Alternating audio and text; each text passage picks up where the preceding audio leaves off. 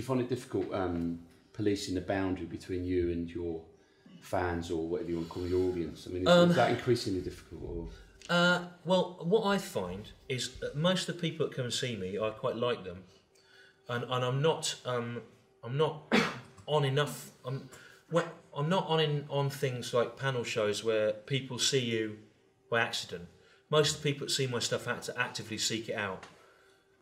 The the the first series that I did for BBC Two in 2009, it was on at about half past nine, and about a million people watched it. And the what's called the audience response satisfaction rating was about 6.9 out of 10 and during that period a lot of people that didn't like me that meant about a third of the people watching it didn't like it. Right but stayed watching it anyway out of some perverse sense to prove to themselves how much they hated it and um, so during that period i encountered quite a lot of people that were quite hostile to me the second series was on much later at night, which was great. It was like 11.15.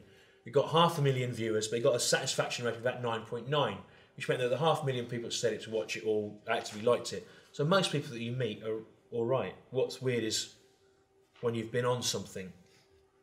When I made the mistake of going on Have I Got News For You, which got about 4 million viewers, I was in Aberdeen the next weekend, waiting on my honeymoon, waiting in a queue for a cab and a bloke drove past and went, Oi, quiz show cunt, at me.